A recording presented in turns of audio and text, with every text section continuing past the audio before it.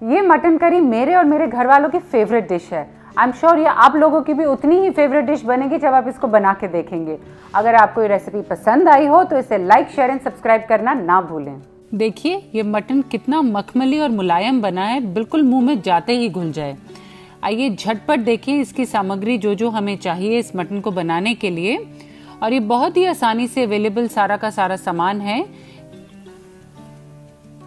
अब सबसे पहले हमने कुकर में तेल डाल दिया है और उसके अंदर हमने खड़े मसाले डाले हैं, फिर प्याज का पेस्ट अच्छे से भुनेंगे, क्योंकि यही है फ्रेंड्स अगर हम मसाले भुनेंगे तो हमारी ग्रेवी उतनी ही टेस्टी बनेगी। फिर हमने लहसुन अदरक का पेस्ट डाला, टमाटर डाला और उसको 15 से 20 मिनट भुनने के बाद ये रंग आया। और अब हमने इसके अंदर सारे सूखे मसाले डाल दिए। फिर हम इसको थोड़ा और भुनेंगे और इसके अंदर फिर हम अपना मटन डाल देंगे।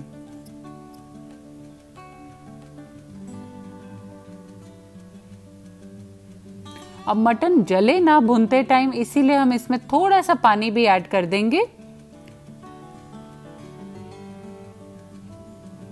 और जब थोड़ा सा भुन जाए 10-12 मिनट के लिए, फिर इसमें थोड़ा और पानी, जितनी हमें ग्रेवी चाहिए, यहाँ पे मैंने एक ग्लास पानी लिया है, उतना डाल के अपने कुकर को बंद करके सीटी दिला लेंगे।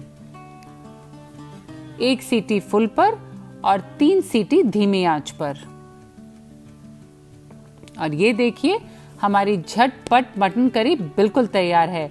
आपके घर में गेस्ट आए या आपको जल्दी से कुछ खाने के लिए चाहिए तो यही डिश बनानी है।